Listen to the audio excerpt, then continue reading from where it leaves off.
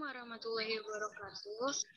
Salam sejahtera bagi kita semua. Kepada yang terhormat Ibu Nur Dahlia, SPD, MKM, selaku dosen mata kuliah antropologi, juga kepada teman-teman sekalian yang hadir pada sore hari ini. Sebelum memulai presentasi, perkenalkan nama saya Nuranzania Zahra selaku moderator yang akan memandu jalannya presentasi pada sore hari ini. Dilanjutkan dengan adanya teman-teman dari kelompok 2A dan 2B selaku pembawa materi pada siang hari ini. Maka dari itu, dipersilakan kepada kelompok 2A untuk memulai presentasinya.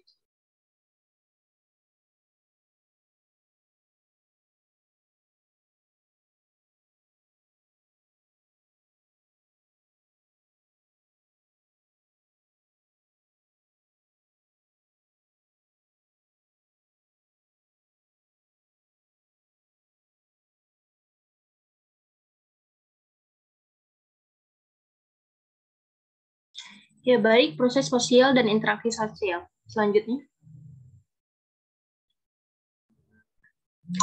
Pengertian proses sosial dan interaksi sosial. Proses, sosial adalah hubungan yang dilihat jika individu dan kelompok sosial saling berinteraksi dan menentukan bentuk hubungan jika terjadi perubahan yang menyebabkan goyahnya pola-pola kehidupan yang telah ada. Dapat juga diartikan sebagai hubungan timbal balik antara segi kehidupan orang, perorangan, atau kelompok secara bersama. Selanjutnya. Secara harfiah, interaksi tindakan atau action yang berbalasan antara individu atau antar kelompok. Sosial juga bisa diartikan sebagai segala macam aspek di mana berhubungan pada manusia serta kondisi sosial lingkungan. Jadi, intersosial ini adalah hubungan timbal balik yang dinamis antara individu dan individu, individu dan kelompok, atau antara kelompok dengan kelompok, baik dalam kerjasama, persaingan, ataupun pertikaian. Slide berikutnya. Selanjutnya yaitu syarat-syarat terjadinya interaksi sosial. Soekanto pada tahun 1982 mengungkapkan ada dua syarat wajib pertama terjadinya interaksi sosial. Yang pertama yaitu kontak sosial. Kontak sosial dapat diartikan sebagai hubungan antara dua pihak yang saling bereaksi dan menjadi awal terjadinya interaksi sosial. Kontak sosial dapat terjadi melalui kontak fisik atau kontak secara langsung, langsung dan kontak secara tidak langsung. Contoh kontak sosial secara langsung yaitu dua orang yang saling menyapa atau saling tersenyum. Sementara itu contoh kontak sosial secara tidak langsung yaitu dua pihak yang berinteraksi melalui perantara seperti surat, telepon, atau media sosial. Kontak sosial dapat berlangsung dalam tiga bentuk, yaitu antara orang perorangan, antara orang perorangan dengan suatu kelompok, dan antara suatu kelompok dengan kelompok. Kontak sosial yang kedua yaitu ada komunikasi. Komunikasi adalah proses penyampaian dan penerimaan pesan berupa ide atau gagasan dari satu pihak ke pihak lain sebagai upaya saling mempengaruhi. Dalam proses komunikasi, pesan harus disampaikan menggunakan bahasa atau simbol yang saling dimengerti oleh kedua pihak. Selanjutnya boleh Galuh.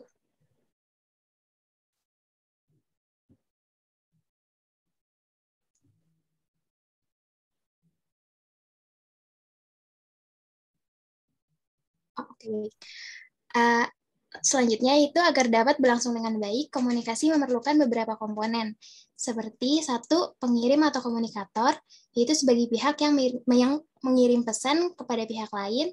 Yang kedua yaitu penerima atau komunikan, sebagai pihak yang menerima pesan dari pengirim. Yang ketiga ada pesan, yaitu ide atau gagasan yang ingin disampaikan. Yang keempat ada umpan balik atau feedback, merupakan tanggapan dari penerima pesan terhadap pesan yang disampaikan.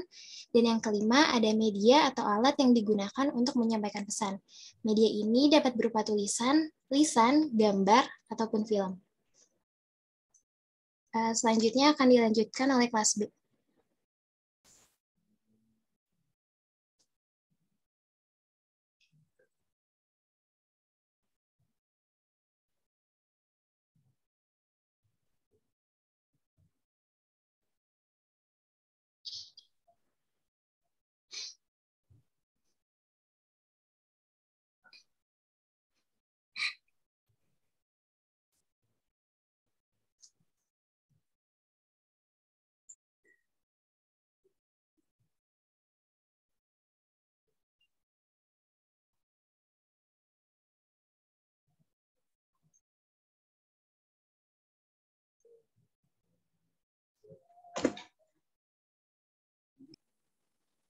baik, dilanjut. Uh,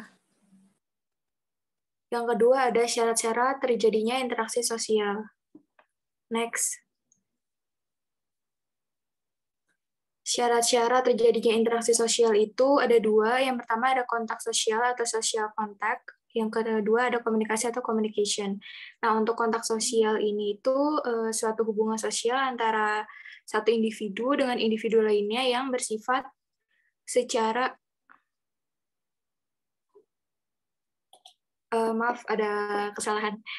Yang ketiga ada uh, lanjut bentuk-bentuk interaksi sosial. bentuk-bentuk interaksi sosial itu ada dua. Yang pertama itu ada asosiatif dan disosiatif. Nah, untuk interaksi untuk interaksi uh, sosial asosiatif ini uh, mempunyai makna yaitu interaksi sosial yang bersifat menguatkan ikatan sosial cenderung kontinu atau berkelanjutan. Eh, karena tidak semua interaksi sosial dapat berlangsung kontinu dan berkelanjutan. Dan untuk interaksi sosial asosiatif ini tuh dia punya uh, bentuk empat, yaitu uh, bisa next slide. Yang pertama ada kerjasama, yang kedua ada akomodasi, yang ketiga ada akulturasi dan asimilasi.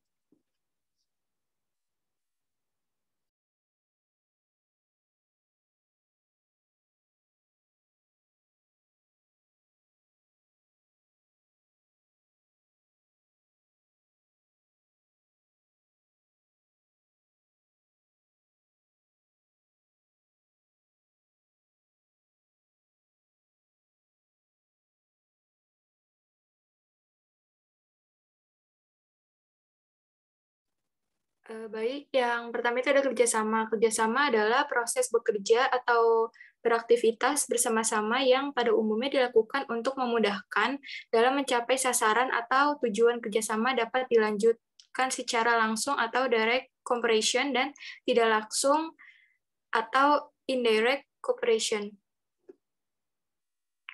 Yang kedua ada akomodasi. Akomodasi dapat diartikan sebagai suatu keadaan dalam masyarakat di mana interaksi sosial yang berlangsung di antara para warga masyarakat berlangsung dalam keseimbangan.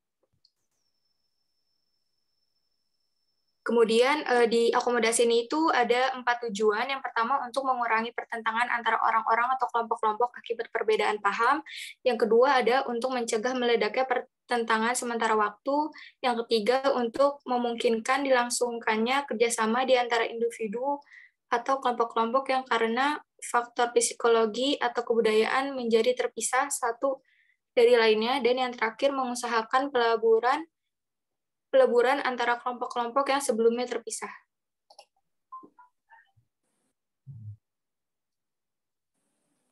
Kemudian ada asimilasi. Eh, asimilasi ini eh, dapat terjadi dalam kasus kelompok minoritas secara bertahap menyesuaikan diri terhadap kebiasaan-kebiasaan adat atau kebudayaan yang berlaku pada kelompok mayoritas. Nah, eh, istilah asimilasi ini tuh berasal dari kata assimilation yang berarti to render similar. Banyak arti istilah asimilasi antara lain percampuran yang harmonis, perbauran, perpaduan, dan penerimaan. Misalnya, pembaruan kelompok etnis Tionghoa di Indonesia ke dalam masyarakat suku bangsa, di mana ia tinggal di eh, tinggal dan menetap. Dengan kata lain, secara sosiologis, asimilasi merupakan bercampurnya kelompok minoritas ke dalam masyarakat atau kelompok dominan. Atau biasa dibilangnya itu the bleeding or flushing or mini minatory uh, groups into the dominant social. Dalam asimilasi terciptanya budaya baru di mana unsur-unsur budaya lama hilang dan tidak tampak kembali. Kemudian yang terakhir ada alkulturasi. Eh, para antropolog memberikan pengertian alkulturasi sebagai kontak kebudayaan atau kultur kontak. Dari kontak kebudayaan tersebut akan mengakibatkan terjadinya komodifikasi budaya atau kultur eh, modification oleh individu, kelompok, atau masyarakat. Nah, efek dari alkulturasi ini tuh dapat terjadi pada tingkatan kelompok yang ditandai oleh perubahan kebudayaan, adat istiadat, dan lembaga sosial. Sedangkan untuk tingkat individu akulturasi mengakibatkan perubahan pada perilaku individu sehari-hari, juga perubahan psikologis dan fisik. Next.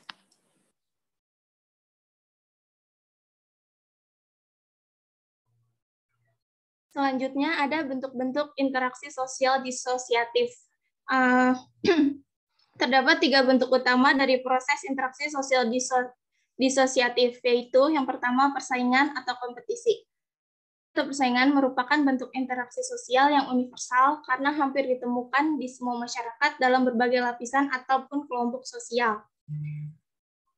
Yang kedua ada konflik atau pertikaian. Pertikaian atau konflik merupakan proses sosial seperti hala kompetisi hanya bedanya pada pertikaian disertai dengan ancaman atau tindak kekerasan baik fisik maupun non-fisik. Dan yang terakhir kontroversi. Sikap yang tersembunyi terhadap pihak-pihak lain atau terhadap unsur-unsur kebudayaan suatu golongan. Sikap tersebut dapat berubah menjadi kebencian tetapi tidak sampai menimbulkan pertikaian. Empat, faktor-faktor yang mempengaruhi interaksi sosial. Next. Yang pertama, imitasi. Imitasi adalah peniruan dari tindakan orang lain seperti meniru sikap, tingkah laku, maupun pada penampilan seseorang secara fisik. Contohnya, seorang anak yang meniru kebiasaan orang tuanya seperti gaya bicara, cara berpakaian, dan lain-lain. Yang kedua, sugesti. Sugesti adalah pengaruh atau pandangan yang diberikan oleh seseorang kepada orang lain eh, di sinilah proses saling mempengaruhi dan menerima pandangan terjadi.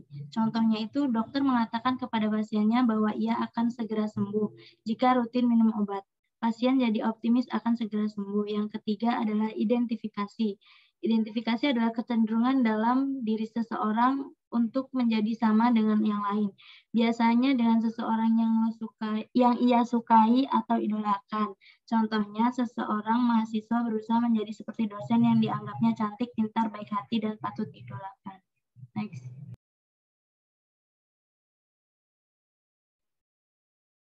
Yang keempat ada empati. Empati itu merasakan perasaan orang lain untuk diri sendiri. Jadi kayak uh, misalkan teman-teman eh kita, misalkan teman kita ada yang kena musibah nih terus kita ikut uh, ngerasain ada di posisi dia gitu kita merasakan hal yang sama terus yang kelima ada simpati simpati itu merupakan perasaan rasa hormat atau respect belas kasih kepada orang lain namun tidak merasa seolah-olah menjadi orang menjadi orang yang mengalami hal itu jadi misalkan ada kecelakaan kita ikut kita ikut membantu dia tapi kita nggak ngerasain jika ada di posisi dia gitu Terus yang terakhir ada motivasi. Motivasi itu bentuk dorongan yang diberikan untuk seseorang agar dia ingat kembali mengenai visi misi yang akan dicapai. Uh, contohnya itu kayak orang tua yang memberi motivasi kepada anaknya yang sedang diet agar anaknya menjadi hidup lebih sehat.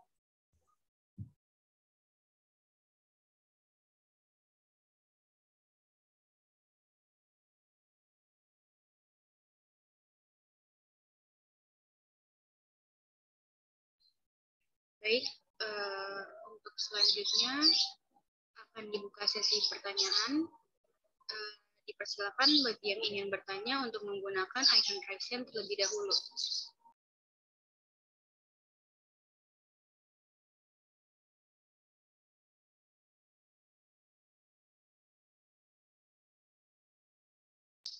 Dipersilakan kepada Sabrina 1B.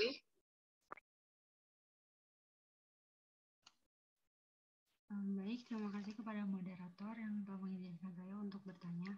Sebelumnya, izin memperkenalkan diri. Nama saya Sabrina Novelda dari kelas 1 Banners. Um, sorry, suaranya kecil. Suara kamu kecil. Ya, baik Bu. Apakah sudah terdengar? Kecil, Sabrina. Kecil. Oke, sebentar.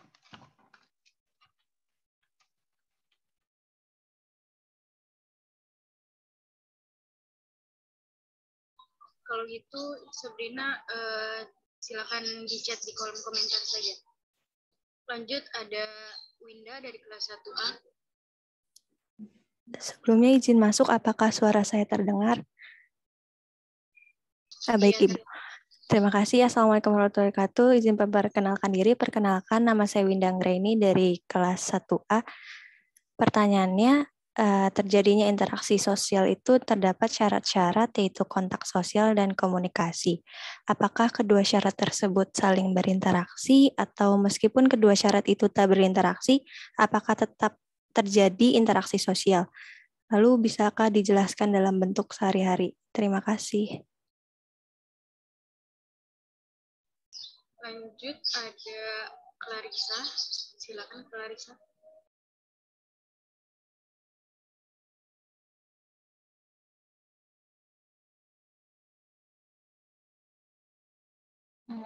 Baik, izin masuk. Apakah suara saya terdengar? Mendengar Clarissa. Izin memperkenalkan diri, nama saya Clarissa Putri Devira dari klaster 1A. Izin bertanya untuk uh, eh, PPT kelompok kelas B. Tadi di bentuk-bentuk interaksi sosial asosiatif salah satunya kerjasama. Nah, di PPT terdapat kerjasama dapat dilakukan secara langsung atau direct cooperation dan uh, spontan. Maksud dan contoh dari kerjasama langsung dan spontan itu apa ya? Terima kasih. Kemudian ada Marsyanda. Silakan Marsyanda. Baik, moderator, saya izin masuk. Apakah suara saya terdengar? Sebelumnya saya ingin bertanya kepada kelompok 2 kelas 1B. Dalam proses asimilasi yang sudah dijelaskan oleh kelompok, apakah ada hal-hal yang menghambat berlangsungnya asimilasi itu sendiri? Itu saja pertanyaan saya.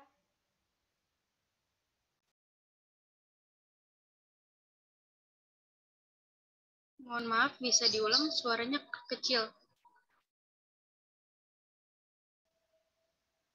Dalam proses asimilasi yang sudah dijelaskan oleh kelompok, apakah ada hal-hal yang menghambat berlangsungnya asimilasi itu sendiri? Bisa dijelaskan? Apakah sudah terdengar?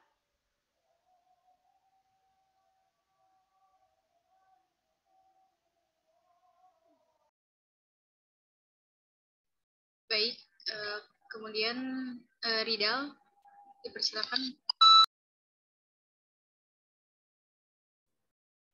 Hmm, baik, izin masuk Sebelumnya perkenalkan saya Rizal Fajri dari kelas 1B. Katanya itu tadi di PPT disebutkan bahwa salah satu unsur penting dalam komunikasi yaitu saluran atau channel kan. Nah, pertanyaannya bagaimanakah pengaruh dari bagaimanakah pengaruh serta contoh dari penerapan unsur tersebut pada komunikasi yang terjadi secara langsung? Terima kasih.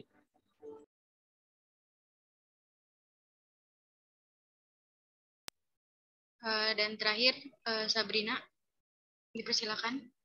Baik, apakah suara saya sudah terdengar?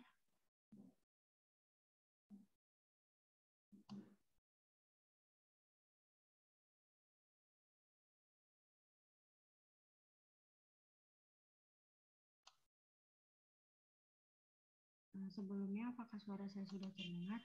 Izin masuk, Sabrina. Uh, suaranya masih kecil. Um, Apakah boleh pertanyaannya diketik saja? Uh, izin masuk, ya boleh Sabrina, silakan. Terima kasih.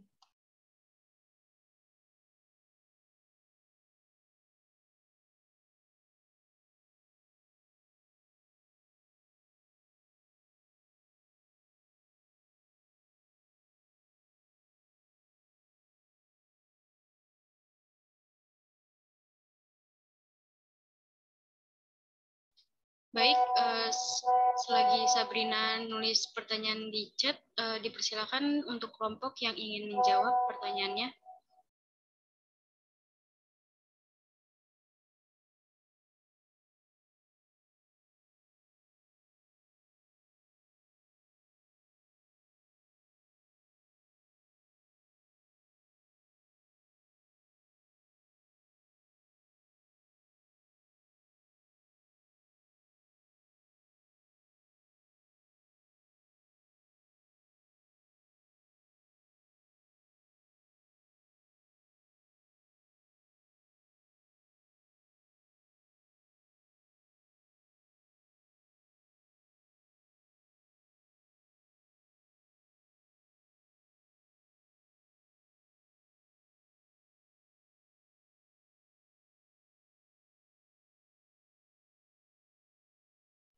Ya, dipersilahkan untuk Galuh. Ya, izin masuk. Mohon maaf sebelumnya, saya tidak bisa on kamera karena terkendala jaringan. Uh, saya Galuh Fitri Kusmaning Tias dari kelompok 2A. Izin menjawab pertanyaan dari Winda. Pertanyaannya, terjadinya interaksi sosial terdapat syarat-syarat yaitu kontak sosial dan komunikasi. Apakah kedua syarat tersebut saling berinteraksi atau meskipun kedua syarat itu tak berinteraksi, apakah tetap terjadi interaksi sosial? Bisa dijelaskan dalam bentuk sehari-hari. Uh, menurut kelompok kami, jawabannya ia saling berinteraksi karena dua syarat tersebut yang menjadi syarat utama interaksi sosial. Uh, bentuk dalam sehari-harinya uh, ter, terbagi menjadi eh, maaf, interaksi sosial uh, mempunyai beberapa jenis, terbagi menjadi tiga. Yang pertama, uh, interaksi sosial antar individu dengan individu. Contohnya itu ketika bertemu saling menyapa, bertanya, dan menginformasikan tentang apa yang dibutuhkan, uh, mengajak bermain uh, bersama adik atau kakak, uh, lalu dosen yang mengajari mahasiswa. Selanjutnya, bentuk interaksi sosial individu dengan kelompok. Contohnya itu menjadi seorang narasumber dalam kegiatan seminar, menyampaikan informasi promosi kepada komunitas. Lalu yang bentuk terakhir, interaksi kelompok dengan kelompok. Contohnya yaitu para pemuda Karang Taruna memberi informasi kepada masyarakat untuk saling bekerja sama membersihkan halaman rumah agar menjadi juara perlombaan kebersihan di acara Food RI. Uh, sekian uh, jawabannya. Apakah sudah dimengerti, Winda? Izin menjawab, terima kasih sudah paham. Baik, sama-sama.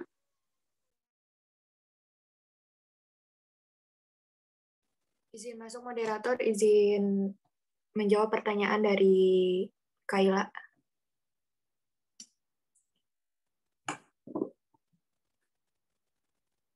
Dipersilakan. Uh, saya uh, dari kelompok 2B uh, izin menjawab pertanyaan dari Kaila. Saya mengulang kembali uh, pertanyaannya ya.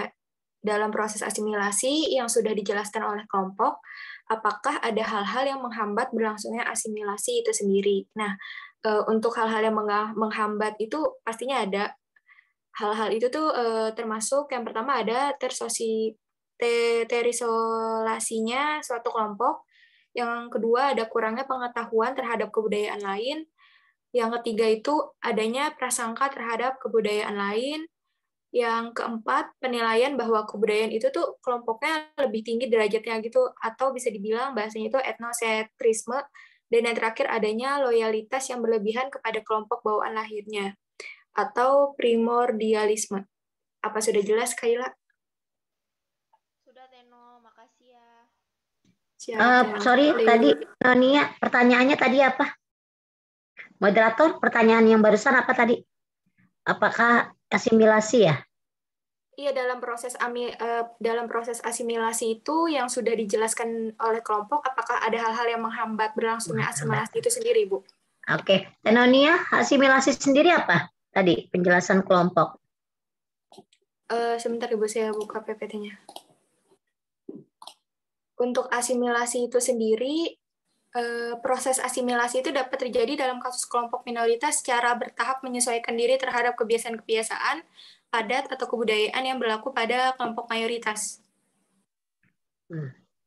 Oke, okay. uh, eh, kelompok salah satu atau moderator kalau punya PPT-nya boleh dikirim lewat chat nggak sekarang? Sambil saya cek gitu. Karena kan sebelumnya harusnya kelompok sudah mengirim PPT sebelumnya ke saya, tapi karena belum ada, nggak apa-apa. Sekarang aja. Kalau bisa salah satu kelompok sambil berjalan ya. Oke, silakan dilanjut sambil berjalan. Bisa dikirim lewat chat aja PPT-nya biar saya bisa download. Terima kasih ya.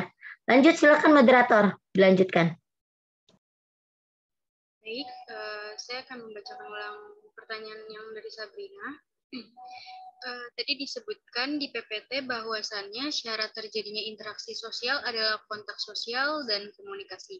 Lalu bagaimana jika salah satu dari syarat tersebut tidak terjalin? Apakah interaksi sosial tetap akan terjadi dan bagaimana cara untuk mengatasi hal tersebut jika terjadi kepada orang terdekat? Silakan jika ada yang ingin menjawab.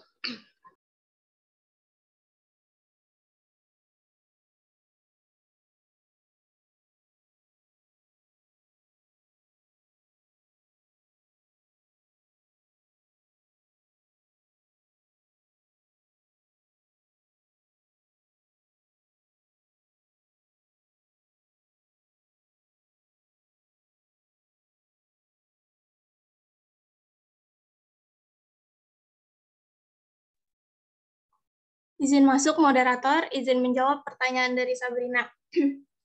Kalau menurut saya, jika salah satu syarat dari interaksi sosial tidak terjalin, maka interaksi sosial tersebut tidak akan terjalin juga. Sebab kontak sosial dan komunikasi merupakan dua hal yang berkesinambungan. Sebagai contoh, misalnya kita melakukan percakapan sebagai bentuk dari kontak sosial. Maka dari itu, tentu saja otomatis kita juga akan melakukan komunikasi melalui pembicaraan. Jadi kalau kita melakukan kontak sosial namun komunikasinya tidak ada, sama saja kita tidak melakukan interaksi sosial. Cara mengatasi hal tersebut jika terjadi kepada orang terdekat bisa dengan cara kita memulai duluan komunikasi tersebut. Dengan begitu, orang yang bersangkutan akan tanggapan, reaksi maupun tindakan tertentu juga terhadap hal-hal yang ingin disampaikan. Izin bertanya sudah Nah, Baik, sudah cukup jelas. Terima kasih, Kanza.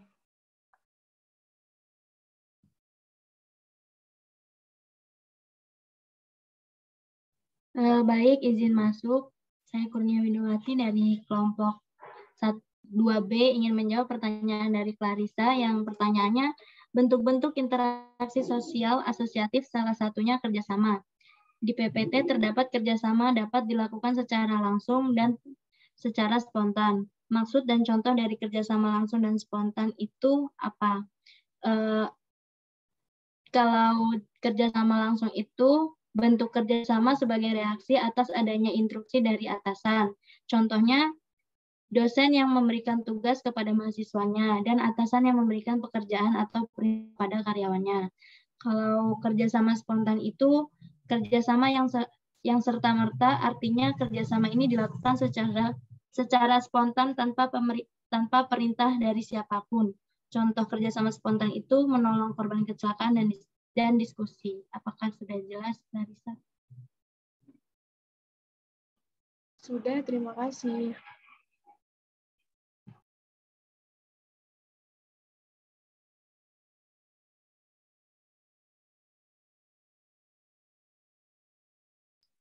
Uh, baik, untuk pertanyaan selanjutnya yang terakhir dari Ridal kelas 1B. Di PPT disebutkan bahwa salah satu unsur penting dalam komunikasi yaitu saluran uh, channel. Pertanyaannya bagaimana pengaruh serta contoh dari penerapan unsur tersebut pada komunikasi yang terjadi secara langsung? Silakan yang ingin menjawab. Baik, izin masuk moderator. Saya uh, akan menjawab pertanyaan dari Ridal. Uh, pada komunikasi yang terjadi secara langsung dapat diterapkan unsur saluran berupa saluran interpersonal seperti percakapan bersama individu lainnya. Maka dari itu, pengaruh yang akan terjadi adalah terwujudnya proses penyampaian pesan dari satu orang kepada orang lain melalui percakapan tersebut.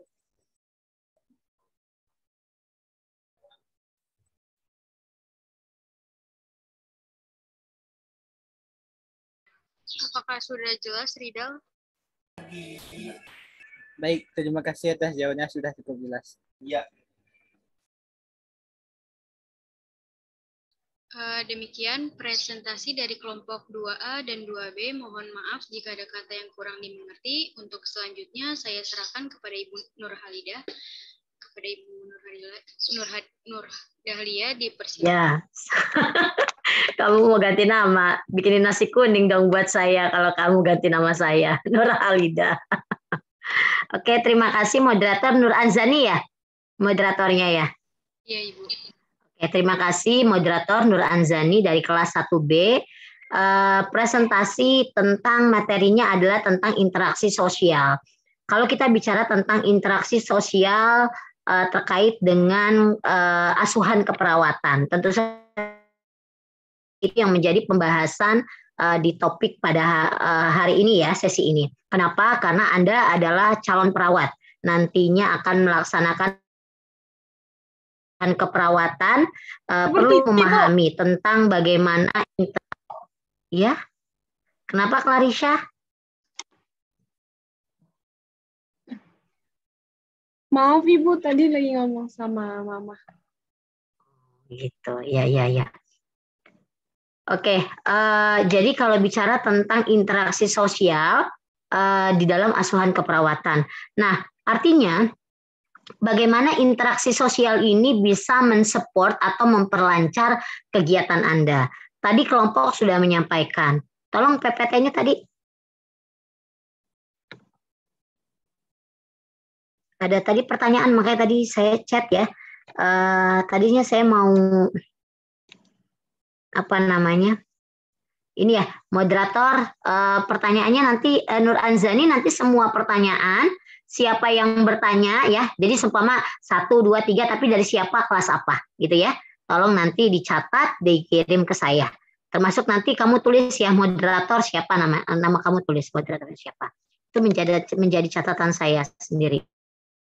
Ya, untuk nanti Oke, kalau bicara tentang interaksi sosial, uh, proses uh, interaksi sosial tadi ada yang bertanya, uh, apa yang terjadi kalau persyaratan dari satu interaksi sosial itu tidak terpenuhi? Karena syaratnya itu kan tadi ada kontak sosial dengan komunikasi.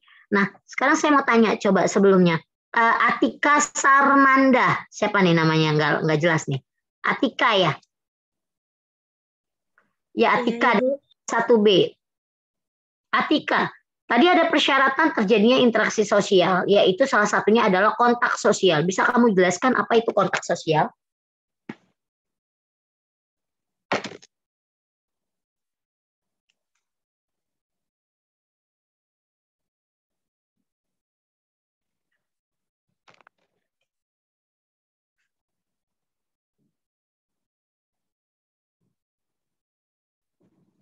Kalau kontak sosial itu apa?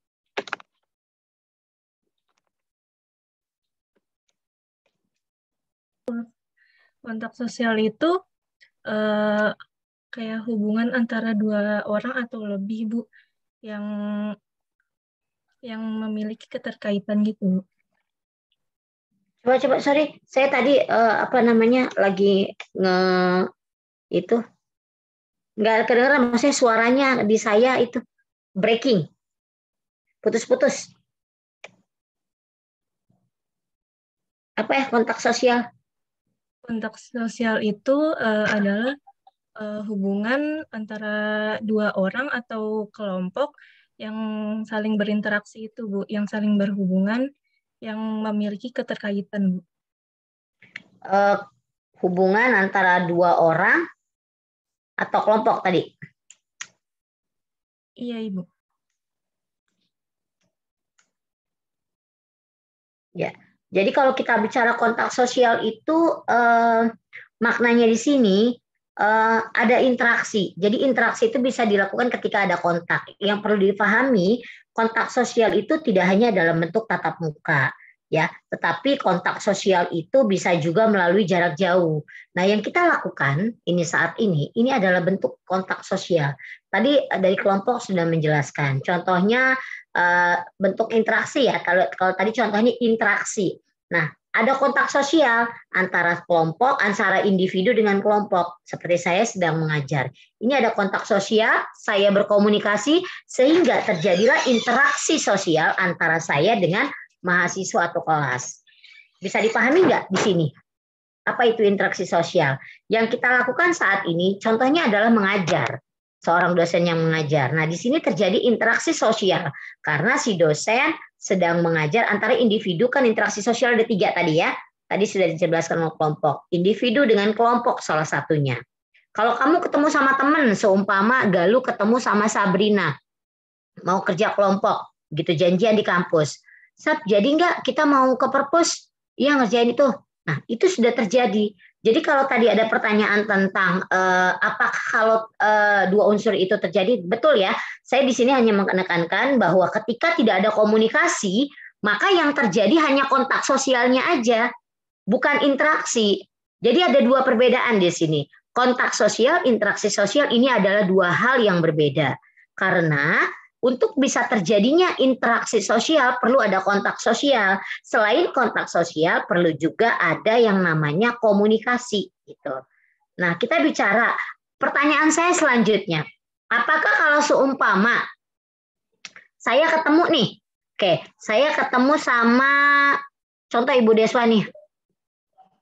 Saya nggak ngomong apa-apa, saya cuma begini aja. Jadi Bu Deswani saya mau, mau mau pulang gitu sama Bu Deswani, saya cuma begini aja dadah gitu. Apakah itu interaksi sosial? Kelompok atau siapa pun, siapa? Silakan. Itu interaksi sosial atau bukan? Bukan, Ibu. Bukan, Bu. Ya? Apa itu berarti? Uh, kontak sosial, Ibu. Kontak sosial. Buk, berarti tidak ada terjadi interaksi. Kenapa? Ya, ya. Tadi Amar ya, silakan Amar Gifari. Karena kalau menurut saya itu kan tadi kan uh, syarat dari uh, interaksi mm. sosial itu kan ada dua kan. Yang yang pertama itu kontak sosial sama komunikasi. Kalau yang tadi ya. dilakukan itu uh, cuman kontak sosial aja gitu, nggak ada komunikasi. Oke. Okay. Oke. Okay. Oke, okay. thank you Amar. Ada yang mau menambahkan atau mungkin mau um, komentar terkait uh, ini selain selain Amar?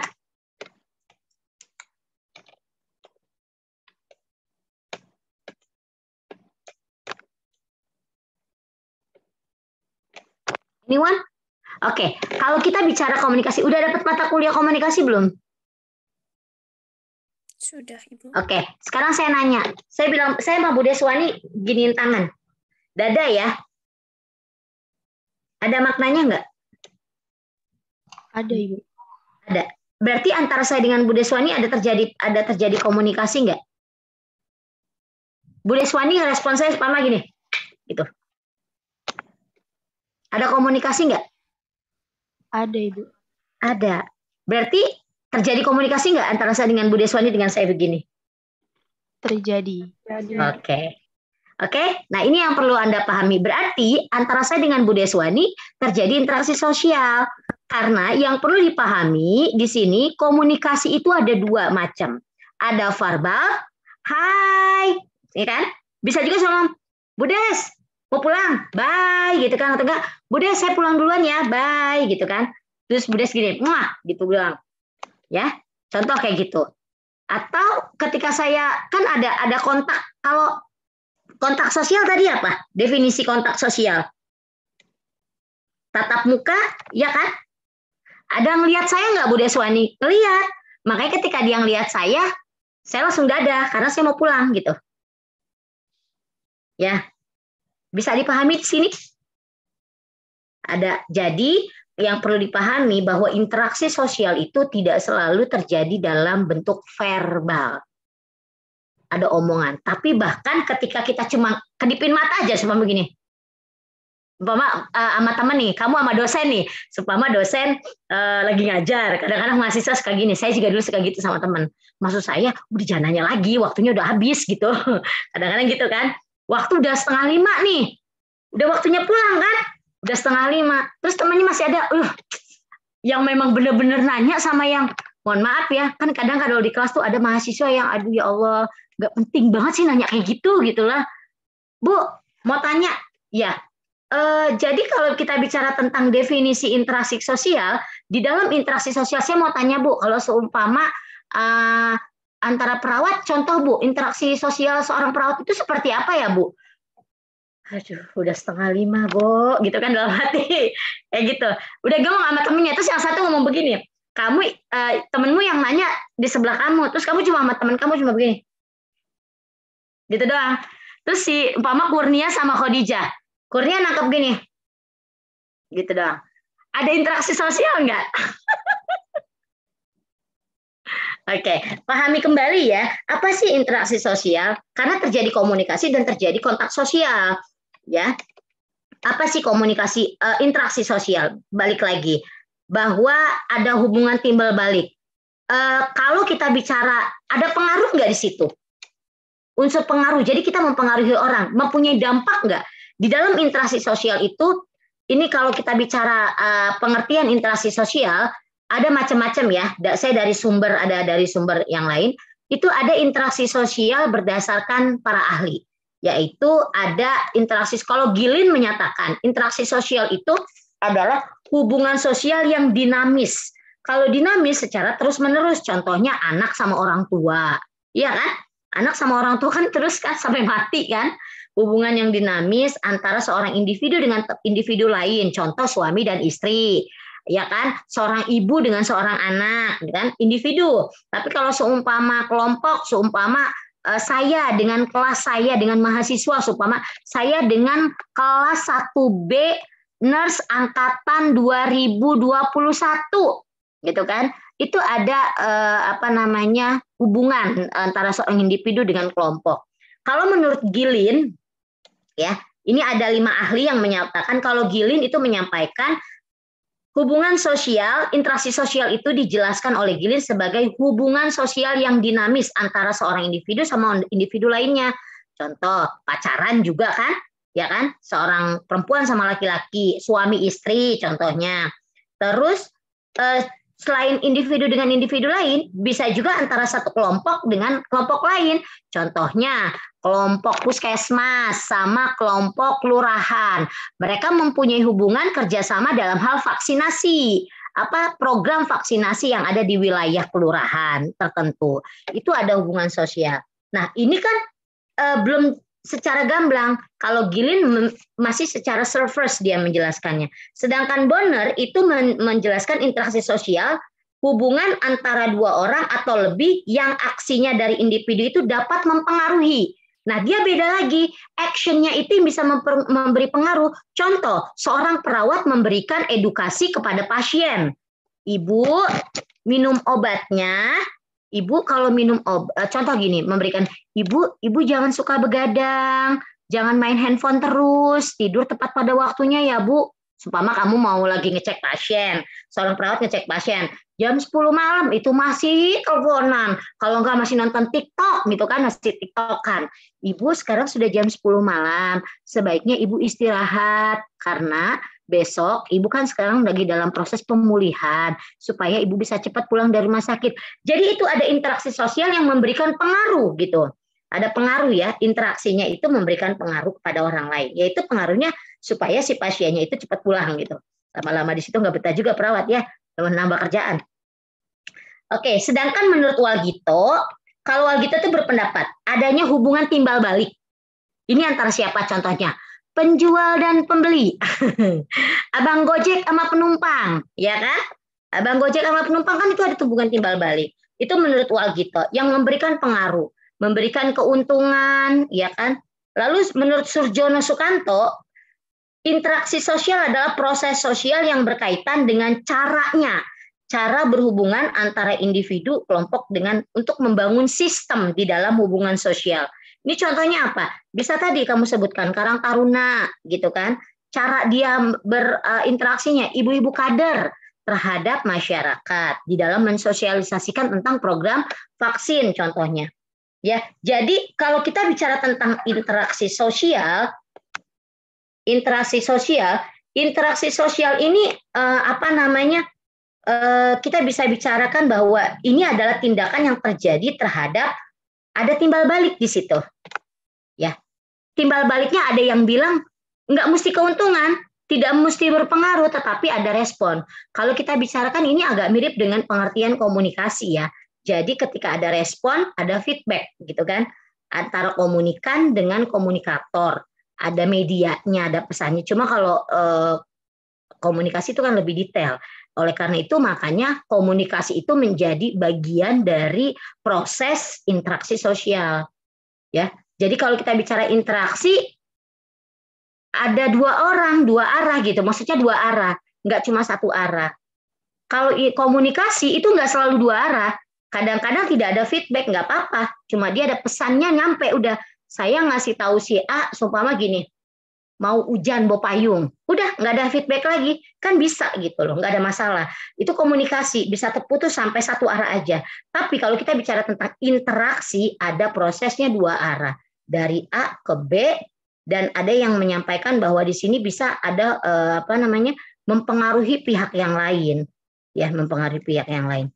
Ini yang di sini. Nah, sekarang yang saya mau tanyakan, bagaimana uh, interaksi sosial ini bisa uh, apa namanya mempunyai peran penting di dalam proses Anda nanti dalam melakukan asuhan keperawatan. Di mana peranannya? Saya lebih suka diskusi ya kalau ngajar kayak gini. Saya mau tanya Hanza. Makanya saya lebih suka kalau mau kayak gini tuh mahasiswa harusnya sudah baca dulu. Karena kan kita SCL, Student Centered Learning. Kanza Amanda ya, satu B Nurse. Silakan Kanza. Kalau kamu bisa memberikan contoh atau peranan lah, peranan interaksi sosial terhadap asuhan keperawatan atau ke seorang perawat. Seperti apa?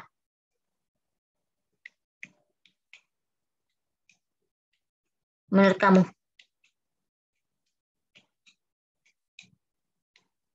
Ya, Hanza, Hanza kayaknya masih butuh mikir ya. Iya, Ibu. Ada yang butuh raise eh butuh, mau raise hand mau jawab maksudnya. Silakan, nggak apa-apa Kanza, you you can take your time. Kita bisa, eh sorry ya kalau saya ngomongnya agak-agak di mix, biar tambah pinter bahasa Inggris kalian. Amelia Cynthia 1B, kok ini munculnya 1B terus ya? 1A-nya mana ya?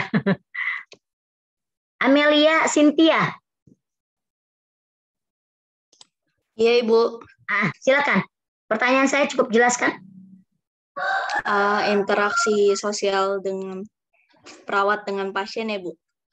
Uh, ya boleh lah. Kalau saya bilang gini ya, interaksi sosial ini peran pentingnya di dalam di da, peran pentingnya bagi seorang perawat apa sih gitu loh. Penting gak sih? Kalau jawabannya penting Bu, oke. Okay. Tell me more. Why? Kenapa? Pentingnya di mana gitu.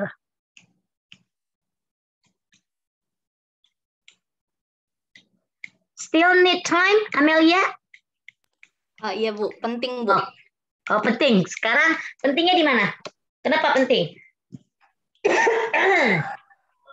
Karena perawat sendiri kan melakukan asuhan keperawatan.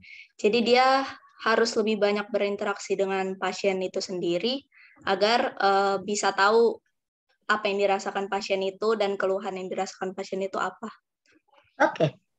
Very good answer. Ya, itu jawaban yang sangat bagus. Ada yang mau menambahkan? Amelia. Izin menambahkan, Ibu. Ya, siapa? Sebutkan nama ya. Soalnya saya catat ya, ini. Saya Kumalasari dari kelas nurse A, Ibu. Oke. Contoh komunikasi di dalam perawatan itu mungkin seperti saat pengkajian ya, Ibu. Itu kan uh, gimana kita bisa mengetahui apa masalah pasien. Kalau kita tidak memiliki bekal komunikasi yang baik, kita mungkin tidak bisa mengetahui masalah pasien lebih lanjut, Ibu. Mungkin seperti itu cukup, Ibu. Ya, terima kasih. Very good, Elsa.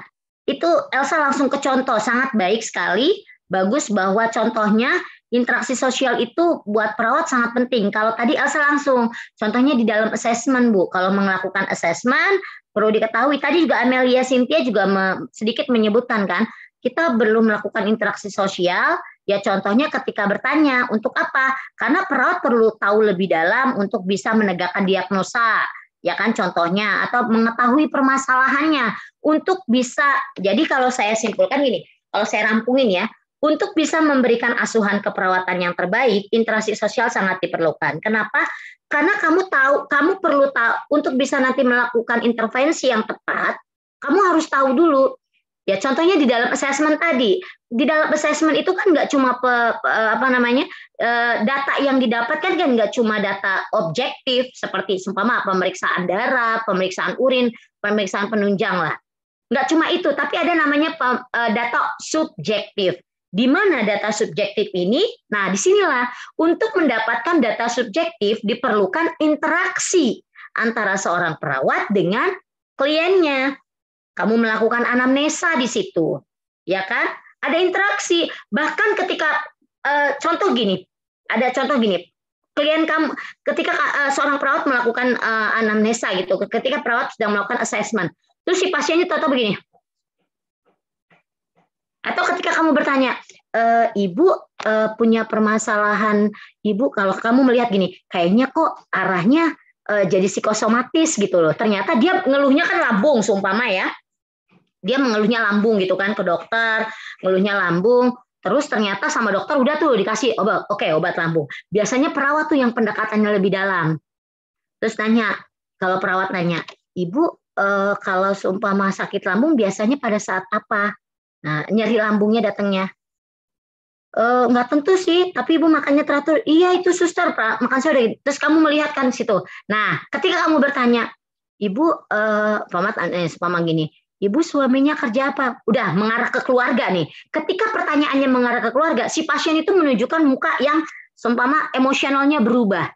Nah, dari situ kamu bisa mengetahui, wah sepertinya ini masalahnya udah psikosomatis nih. Artinya permasalahannya sebenarnya gangguan fisiologisnya itu justru dari gangguan emosional. Asam lambungnya naik karena dia stres. Kayak itu bisa terjadi. Nah, kamu bisa bisa bisa apa namanya menebak ke arah situ dari mana? Ketika Anda melakukan interaksi dengan pasien Anda. Gitu loh. Ya kan?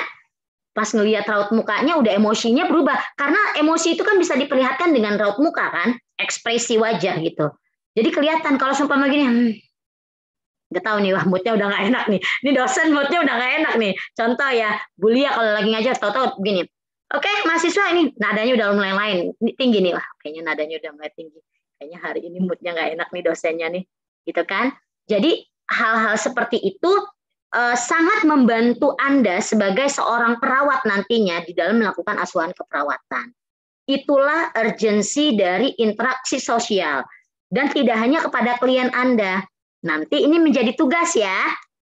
Nanti Anda saya harus kasih studi kasus, bikin tapi nggak ada kasusnya, uh, Anda saya suruh bikin analisis. Uh, oh ya waktunya udah mau habis ya. Sampai sampai jam berapa sih? Uh, izin masuk Ibu uh, untuk jamnya sampai 16.40 Bu. Oh, saya janjian jam setengah lima ini sama mahasiswa lain. ya udah nggak apa-apa ya. saya janjian ngajar lagi kelas ini uh, karena biasa banyak kelas bentrok.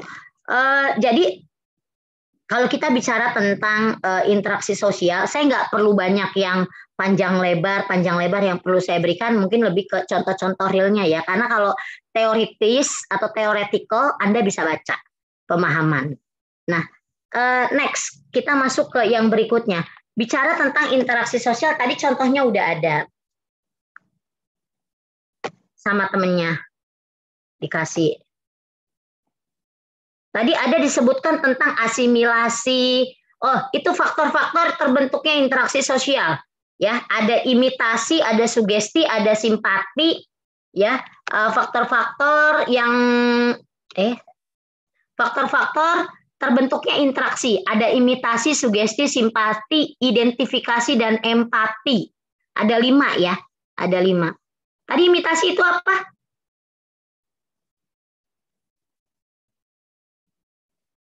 Meniru ya. Kalau imitasi itu kan ada kata meniru. Bagaimana? Contohnya apa sih? Bagaimana uh, imitasi ini menjadi faktor terbentuknya interaksi? Contohnya apa? Jihan? Yang kayak popers itu loh, banyak kok kan? Ada interaksi nggak? Ya kan? itu loh apa namanya istilahnya kalau dia itu supama biasnya di EXO siapa? Si Chen atau siapa EXO tuh? Dio. Wah mulai ketawa tuh. Udah ekspresinya udah mulai beda. Kalau saya ngomongin Jongkook ya. Uh, V ya. Arminya langsung pada begini. Ye yeah, army oke kalau kita bicara imitasi imitasi ini kan faktor-faktor yang membentuk atau terbentuknya interaksi sosial. Ada imitasi. Kenapa sih imitasi itu di, di, di e, menjadi faktor terbentuknya? Bisa ada yang kasih penjelasan? Izin masuk, Ibu. Ya, silakan. Uh, nama saya Nadila. Uh, menurut saya, mengapa ini merupakan faktor yang mempengaruhi interaksi sosial karena seseorang akan mencoba untuk meniru orang lain yang menjadi idolanya. Jadi imitasi ini berperan dalam menentukan arah seseorang berperilaku. Imitasi biasanya terjadi dalam kehidupan sosial apabila melihat individu atau kelompok lain lebih sukses dari dirinya. Terima kasih. Terus interaksinya di mana? Kalau kita bicara interaksi dikaitkan dengan interaksi sosial ya, kan interaksi sosial itu adanya hubungan antara seseorang dengan orang lain atau seseorang dengan kelompok atau kelompok dengan kelompok. Ketika dia melakukan imitasi, imitasi itu bisa membentuk adanya interaksi. How do you connect this? Bagaimana ini bisa terkoneksi? Uh, apa sih namanya? Ya, ya itu tadi. Saya belum dapat penjelasan izin, kamu. Izin menjawab, Ibu. Ya, silakan. Tapi penjelasannya Nadila Putri udah oke. Okay. Saya udah, udah dikit lagi tinggal nyambungin. Benang merahnya belum ketarik ya. Belum di bukan belum ketarik, udah ditarik cuma belum di hmm, kencengin. Tighten. Oke, okay, silakan Salsabila. Ya, izin Ibu. Uh, kan kalau imitasi itu kan dia kayak uh, mengikuti seseorang, Bu. Kenapa bisa disebut interaksi sosial? Karena kan kalau misalnya terjadinya interaksi sosial atau kelompok sosial itu karena adanya naluri. Di mana kalau kita itu, misalnya saya ngikutin uh, artis, berarti otomatis saya naluri saya tuh kayak berinteraksi gitu loh, Bu. Seperti itu mungkin. Terima kasih. Bisa dipahami nggak? Novia Stianingsi gimana? Bisa dipahami?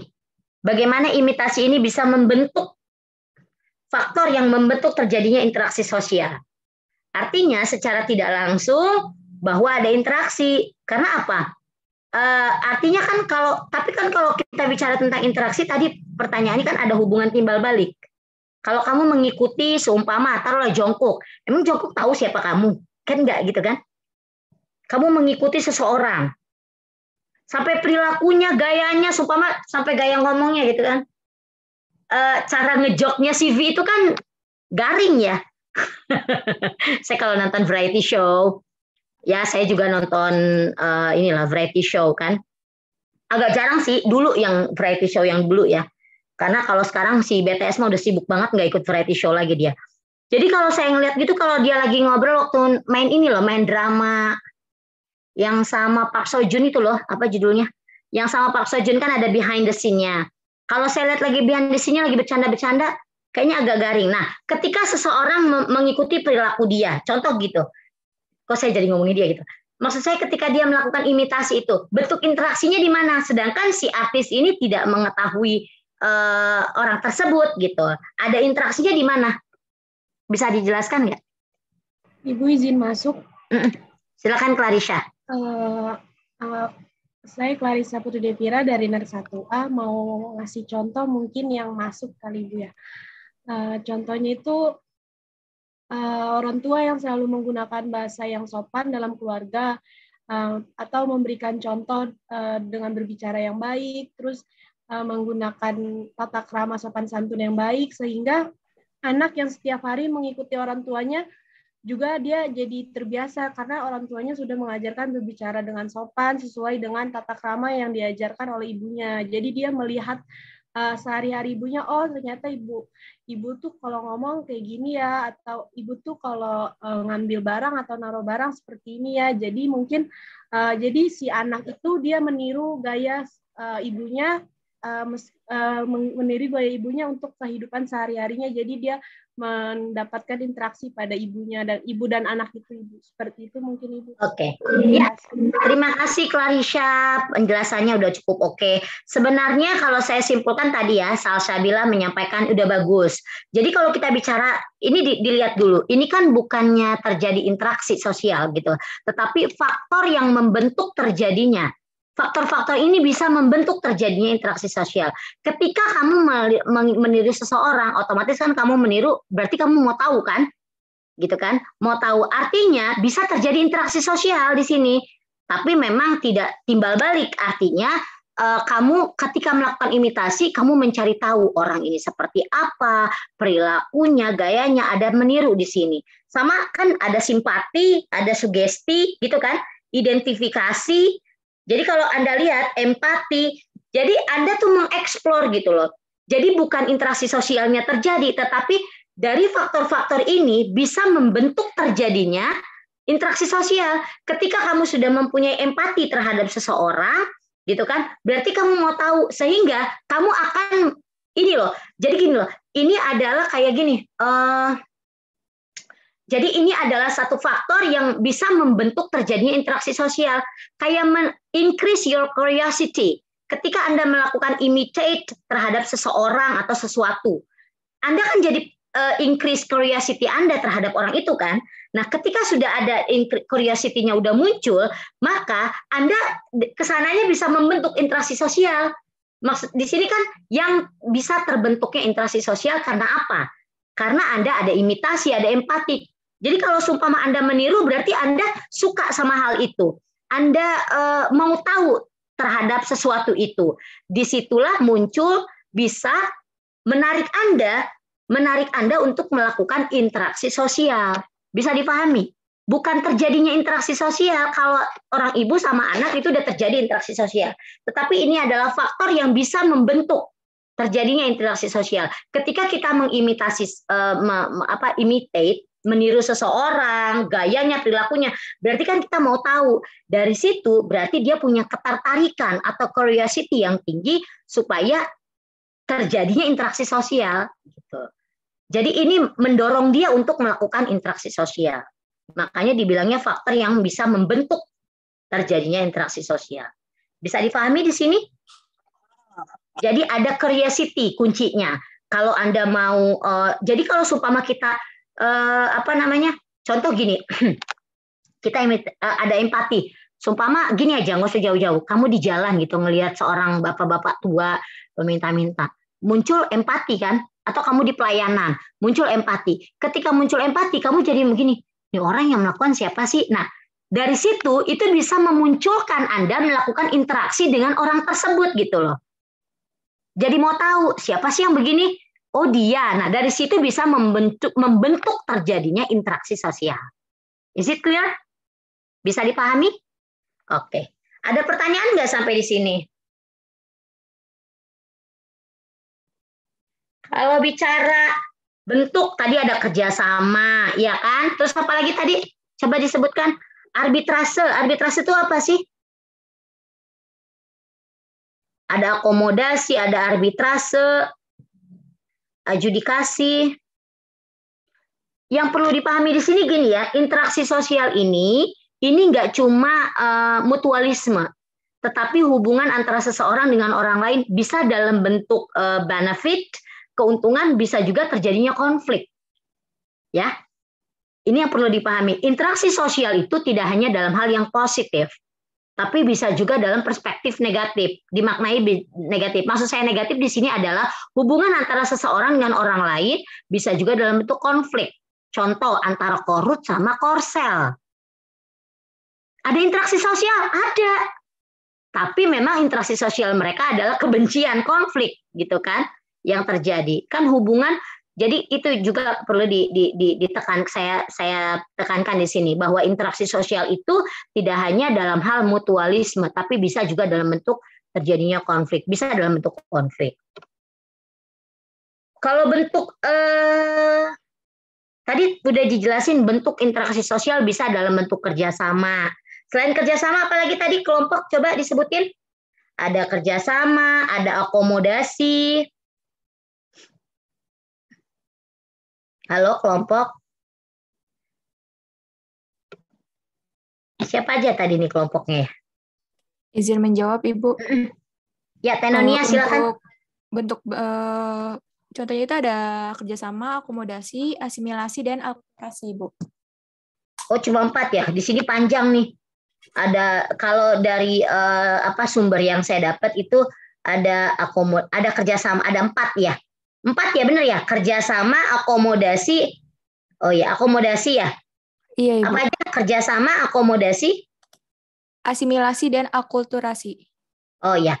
Nah, di dalam asimil eh, sorry, di dalam uh, akomodasi, nah akomodasi ini dibagi lagi ya. Akomodasi itu, akomodasi itu definisinya apa? Penyesuaian diri seseorang yang sebelumnya saling bertentangan tapi bisa mengatasi ketegangan ya itu tadi Korsel ya kan Amerika sama US Soviet Tujuannya untuk menciptakan tujuan dari akomodasi ini adalah menciptakan keseimbangan interaksi sosial yang akan berkaitan dengan norma dan nilai-nilai dalam lingkup masyarakat. Namun akomodasi ini dibagi lagi. Yang tadi yang saya bilang adjudikasi, ada arbitrase, ada kompromi, ada konsiliasi. Nah, konsiliasi itu kan berarti eh, apa namanya?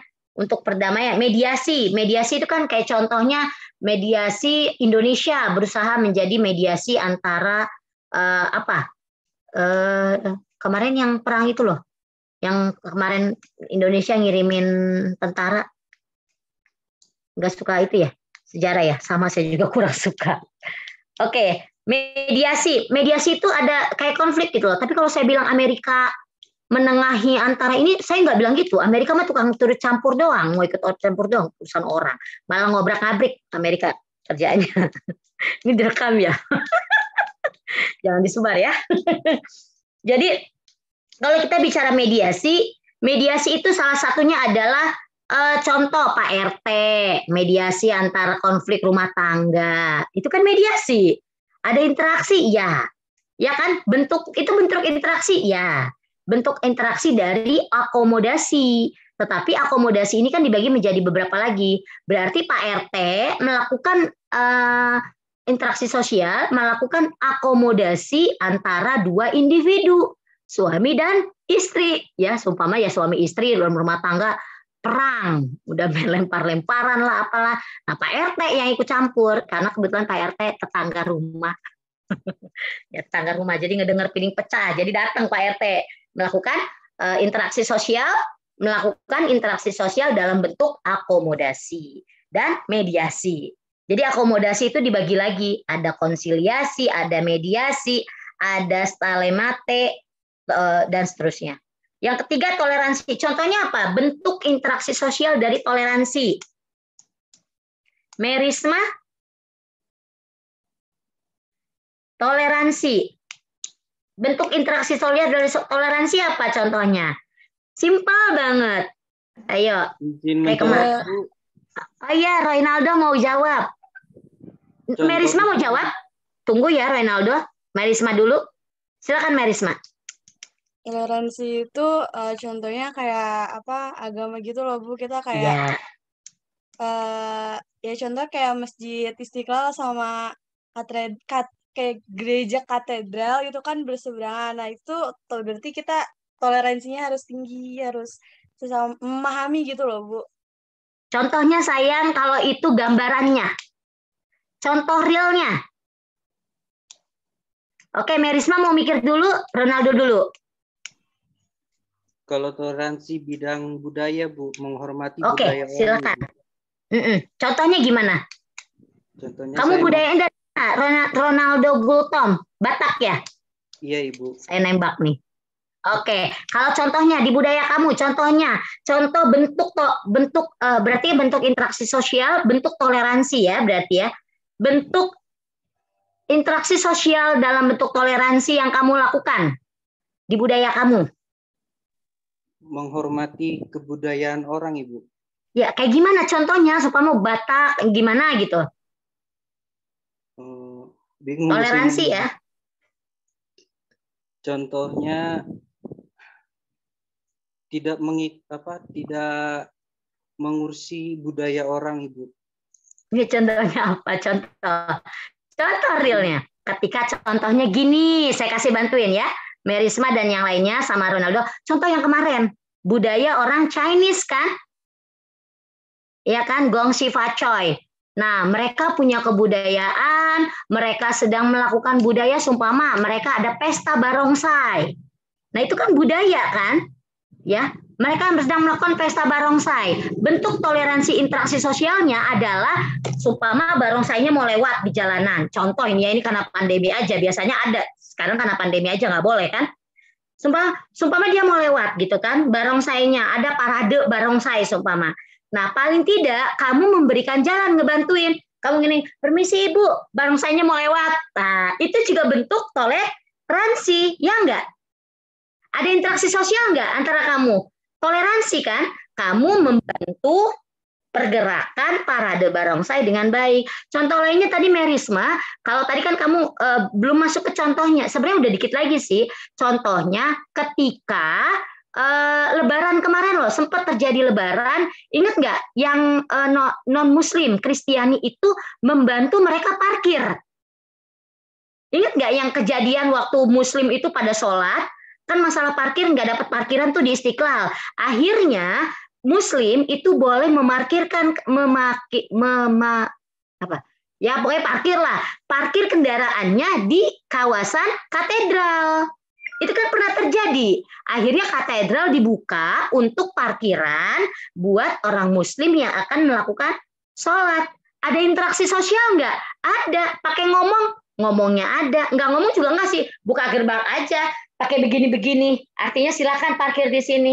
Ngasih tangan kan kalau orang parkir kan biasanya begini doang kan? Nah, ada interaksi sosial? Ya, bentuk interaksi sosial dalam toleransi ini seperti itu. Biasanya karena agama, budaya. Kalau budaya lainnya apa? Seumpama eh, saya bukan orang Batak, tetapi ketika orang Batak mau melakukan pernikahan, seumpama toleransi, kan ada budaya apa seumpama yang saya juga nggak tahu sih umpama. Atau ketika ini uh, Gultom, seumpama di Medan itu ada orang meninggal yang Hindu yang ngaben mau dibakar, tapi dia mau dibakarnya di uh, apa namanya di um, apa sih namanya di di daerah sana gitu kan. Kamu memberikan jalan terus atau kamu menelpon uh, orang yang hmm, apa namanya Pak RT atau apalah mau ada pesta ya. Itu adalah bentuk interaksi sosial yang uh, toleransi. Oke? okay? Saya rasa contoh-contoh lainnya nanti Anda bisa cari, baca kembali dari uh, eh, PPT temen yang udah dibuat sama temennya.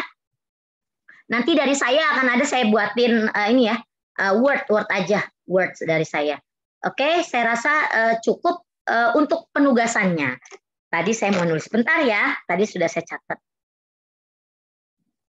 Kamu bikin analisa kasus ya. Cuma saya bingung nih, kasusnya cuma satu.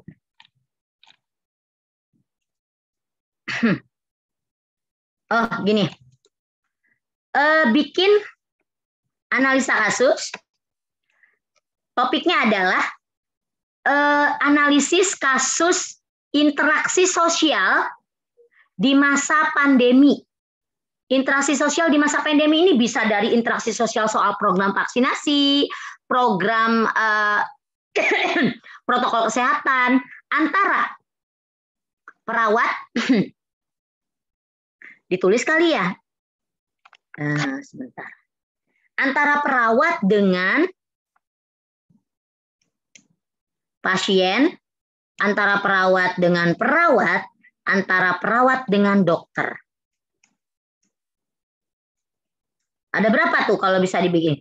Perawat dengan perawat, perawat tiga ya, perawat dengan perawat, perawat pasien, sama perawat dengan dokter. Oke, kita bagi lagi. Karena Anda uh, ini tugasnya sama ya antara kelas A sama kelas B. Kalau kalian mau kerja sama, boleh. Semua kelas A sama kelas B kerja sama. Tapi kalau menurut saya, saya mau lihat perspektif Anda, bagaimana Anda menuliskan uh, kasus ini, mendeskripsikan kasus, uh, analisis kasusnya ini dari perspektif Anda. Saya, saya sih berharapnya jangan kerjasama supaya uh, siapa tahu perspektifnya lebih luas gitu loh antara kelas A sama kelas B dan punya sudut pandang yang berbeda. Oke, jadi sudah cukup jelas nggak suruh ngapainnya? Ya, membuat studi kasus, analisis kasus. Kasusnya apa? Kasusnya topiknya boleh ngambil sumpama uh, interaksi sosial ya. Jadi analisis kasus interaksi sosial antara perawat dengan perawat, perawat dengan pasien, perawat dengan dokter di masa pandemi. Nah, di masa pandemi ini kan banyak banget nih. Jadi bisa kamu ambil nih interaksi sosial, program vaksinasinya, eh, protokol kesehatannya, apalagi supama masalah terus mau diperkecil lagi nih supama interaksi sosial dalam hal eh, apa namanya sosialisasi cuci tangan atau apa terserah. Oh yang di masa pandemi yang terkaitnya. Oke bisa dipahami? Satu kelompok satu kelas berapa orang? Empat puluh eh, lima orang bisa? Satu satu kelompok lima ya? Jadi delapan kelompok satu kelas Kayaknya satu kelas itu ada 40 orang ya, 40 mahasiswa ya. 1A, ketua kelasnya boleh bicara? 1A. Halo, ketua kelasnya 1A siapa? Halo. Saya ya, Dimas. Oke, Iya, Ibu. Dimas, ada berapa jumlah mahasiswa satu kelas A? Izin menjawab, Ibu, untuk mahasiswa kelas 1 honors ada 44, Ibu. Dimas, kamu ngeliat kelihatannya cuma dari hidung segini doang nih, hidung ke atas. Hidungnya kamu setengah doang kelihatan. Nah, Iya, Ibu. ya gimana Dimas? Apakah suara apakah suara saya terdengar, Ibu? Suara jelas, suara terdengar jelas, muka yang nggak jelas. Oh, baik, Ibu. Mohon maaf, Ibu. Kayaknya Amar punya apa tersalurkan ya. Ketawanya heboh banget Amar. ya gimana Dimas? Satu kelas berapa mahasiswa jumlahnya? Izin menjawab, Ibu, untuk satu honors ada 44, Ibu. Empat, oh banyak ya. Saya pikir cuma empat puluh. Hmm, rame ya keperawatan. Kelas 1B, ketua kelasnya siapa? Halo kelas 1B, ketua kelasnya ada di mana? Masih di masjid kali ya? Izin menjawab Ibu untuk Oh, kelas iya, silakan. Untuk kelas 1B eh, saya sendiri Ibu Erika Flaviani. Untuk kelas 1B Oke. itu ada ada 40 mahasiswa Ibu. Sorry, empat. Tadi eh, apa suaranya ngadu sama anjing kamu kayaknya. Tuh, suaranya ngadu Erika. Sorry, sama gonggongan di sebelah. Berapa Erika? Ibu. Untuk kelas eh, 1B sendiri itu ada 40 mahasiswa Ibu. Oh, 40. Oke, oke. Iya, Berarti. A yang banyak ya. Thank you Erika. Thank you Dimas. Eh, berarti 44 ya. Kalau 4 eh, kelas B nggak ada masalah ya. Satu kelompok berarti satu kelompok itu lima orang. Kalau untuk kelas B, eh sorry, kelas B satu kelompok lima orang. Kelas A sama deh lima orang. Cuma nanti ada empat orang ya, karena ada 44. Ya kenapa Faris? Ada yang ngambek ya di sebelah ya? Apa salah pencet Faris? Oke, saya rasa cukup. Iya, nggak apa-apa. Kamu kalau nonjokin orang baru saya nggak ma- nggak maafin. Oke, satu. Do you have questions? Sampai di sini ada pertanyaan? Udah saya udah telat. Bentar Pak. Bentar Pak lagi ngajar dulu sebentar. Selesai dulu ya ngajar. Tuh tuh tuh ada.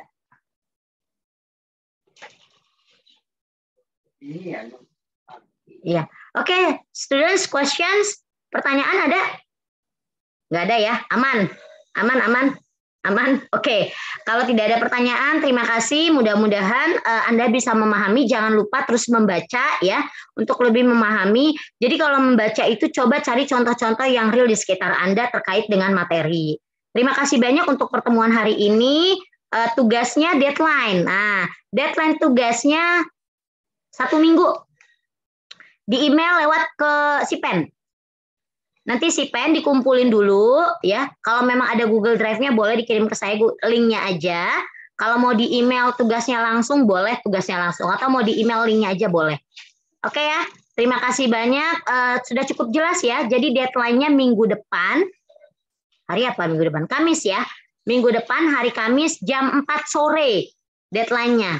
Itu deadline itu sudah di email ke saya ya, si pen kelas 1A maupun 1B. Oke, thank you for today. Uh, we are still in pandemic. Stay safe, stay healthy, dan stay happy. Di mana pun, kapan pun, jangan lupa bahagia. Thank you everyone. Assalamualaikum warahmatullahi Maaf, wabarakatuh. Ibu, maaf. Ya, ya, Izin silakan. dulu, Ibu. Izin dokumentasi. Oh, kalau dokumentasi tadi pakai PPT, Neng. PPT kamu dimunculin aja. Tapi udah tadi yang pakai PPT. Belum juga, Ibu. Hmm, ya udah nggak apa-apa, foto begini aja deh kalau nggak. Eh, baik, untuk kelas 1B boleh off cam terlebih dahulu ya. Dan untuk kelas 1 honors boleh on cam dulu. Ya, untuk slide pertama, satu, dua, Nah, slide kedua, tuh dua, slide ketiga, tuh dua, ya, terima kasih. Selanjutnya rival untuk kelas B. Baik, terima kasih. Salsa. Uh, untuk kelas B ya diarkan-arkan terlebih dahulu ya. Nadila, kamu jangan begini. Nanti kalau kamu begini dikirainnya itu screenshot lagi nonton konser. Ya, bukan belajar, itu kuliah, penonton konser. Dikiranya ntar saya lagi nyanyi lagi, kamu begini-begini. Ya, bukan ngajar. Oke, silakan, Rival. Untuk set pertama, satu, dua, tiga. Untuk slide kedua, satu, dua, tiga. Untuk slide ketiga, satu, dua, tiga. Baik Ibu, terima kasih sudah semua. Oke, thank you ya semuanya. Buat yang Army, kirim salam buat Jongkok ya. Assalamualaikum warahmatullahi wabarakatuh. See you everyone. Terima kasih, Bu. Terima kasih, Bu. Terima kasih, Bu. Saya izin lip ya. Terima kasih, Bu.